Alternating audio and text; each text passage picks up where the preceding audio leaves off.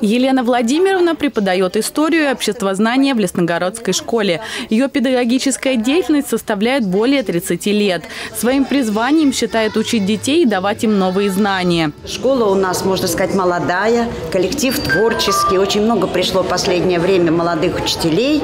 Вот, и у них тоже, конечно, можно учиться, чем-то делиться. Приятно, что среди молодых коллег есть мои выпускники уже.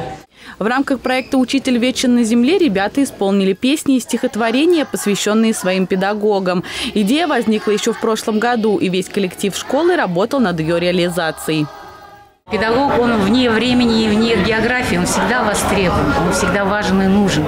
И еще акцент наш, нашего проекта на том, чтобы обратить и привлечь внимание наших детей, вот насколько нужна и важна профессия педагога. А учителя всегда востребованы. Ученики с особым интересом следуют примеру своих учителей и после школы уже осознанно выбирают педагогическую деятельность.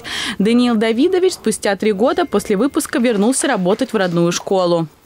То есть сейчас соберутся разные ученики, у нас соберутся учителя разные, то есть соберутся выпускники бывшие, не знаю, сколько это придет, конечно, вот. А, будем поздравлять наших учителей, которые до сих пор здесь работают, кто-то здесь работает 20, 30, есть даже те, кто работает 40 лет.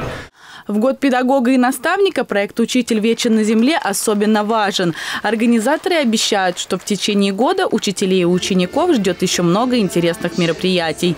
Екатерина Крамер, Кристина Болдина, Станислав Трифонов, телекомпания «Одинцова».